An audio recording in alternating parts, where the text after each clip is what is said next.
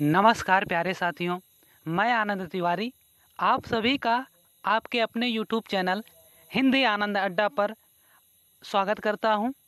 प्यारे साथियों, आज हम आप लोगों के लिए पर्यायवाची से संबंधित महत्वपूर्ण वीडियो लेकर आए हैं और आज की वीडियो में हम आपको केला की पर्यायवाची बताएँगे केला यानी कि जो फल होता है और उसका सेवन भी हम करते हैं और शारीरिक रूप से हिष्ट पुष्ट भी बनते हैं उसके सेवन से।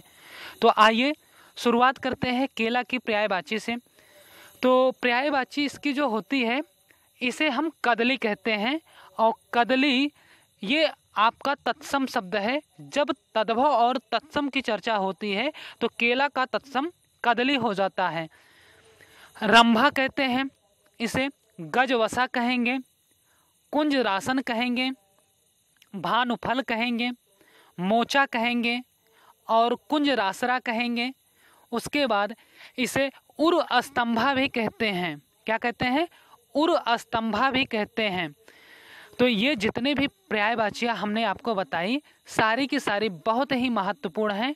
इनका अध्ययन और मनन कीजिएगा, वीडियो पूरी की पूरी देखिएगा और अगर पसंद आए तो लाइक कीजिएगा दोस्तों के बीच शेयर कीजिएगा और अपने कमेंट ज़रूर कीजिएगा।